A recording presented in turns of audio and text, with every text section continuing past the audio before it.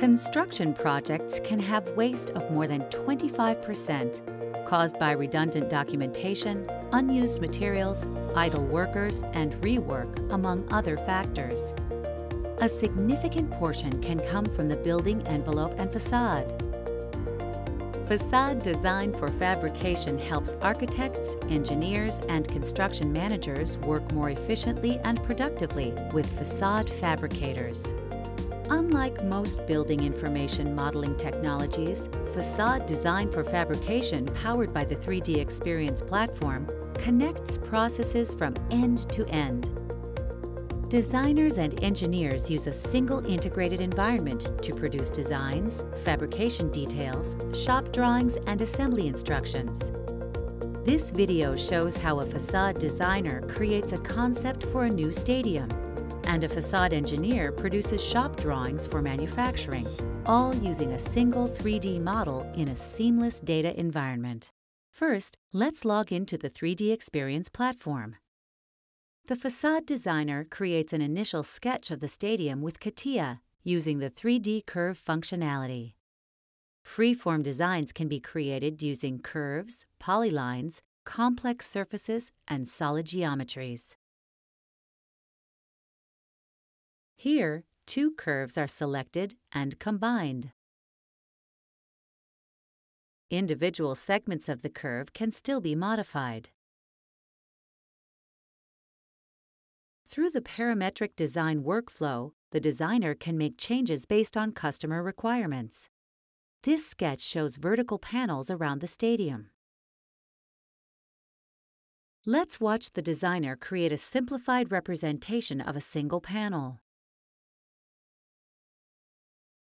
The designer will replicate this panel around the entire stadium. The stadium has an irregular shape, so each individual panel needs to be adjusted to match the overall curve.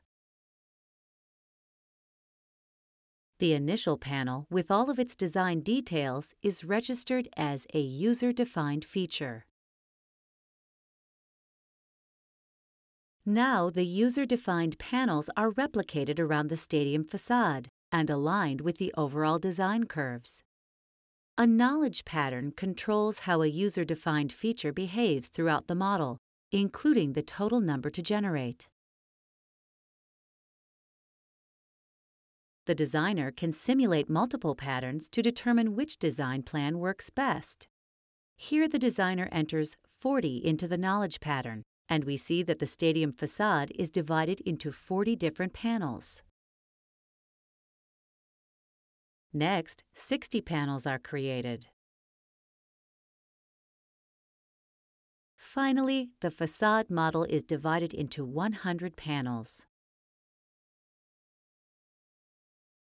Even after the facade model has been partitioned, if changes are made to the initial wave curve, any resulting modifications are automatically applied to the affected panels. Our conceptual model is divided into upper and lower sides, both of which are divided into 100 vertical panels. The designer adds further detail to each panel. The upper panels are subdivided into varying numbers of plates. The designer specifies the maximum number of plates per panel at 4. As before, the designer selects one model to establish a template. Plate attributes and frame geometry are added to the initial panel. The dimensions of each frame are calculated automatically. Depending on the length of a given panel, it is divided into two, three, or four separate plates. For each of the 100 panels, we now have a total length, the number of plates, and the dimensions of each plate. This information will help the facade design team evaluate panel production quantities and costs. The designer exports all panel and plate data into a report to inform the initial quantity takeoff. The report can be exported into Microsoft Excel or HTML formats. The facade designer is now finished with the conceptual design phase. For the detailed design phase, a facade engineer continues to work with the stadium model on the 3D Experience platform on the cloud. The conceptual model created during the previous phase will serve as the skeleton for a more detailed model. First, the engineer creates an assembly for the panels. The skeleton drives the geometry and position of each part. Using a universal product template for a generic beam, the engineer can rapidly generate parts within the model. Each beam is generated as a unique part. Beam lengths are determined by the skeleton model. Parts can be modified individually or replicated at any time during the design process. Next, using CATIA, the engineer creates a sheet metal model, including thickness and folding details. The sheet metal model is placed in the assembly. Unfolded, side, and isometric views are associated with the part. The sheet metal model and its alternate views can be exported to seamlessly create shop drawings. The facade engineer will now create a basic assembly template. Registering the model as an assembly template allows other team members to reuse an assembly model efficiently. In the assembly template, the engineer can select which elements apply.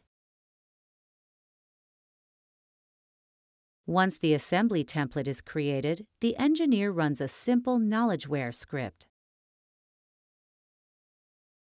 The script automatically generates each assembly around the stadium. The detailed design model is updated. It now includes 100 assemblies, each with unique parts as well as shared parts. To complete the detailed design, the engineer needs to add any missing parts. This can be done easily by selecting a standard part from the catalog and adding it to the assembly model catalog.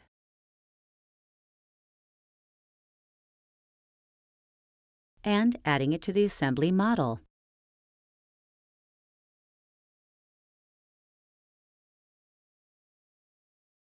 Because the 3D model is defined using an AEC data model, we can add IFC extensions to objects and see specific attributes for each product.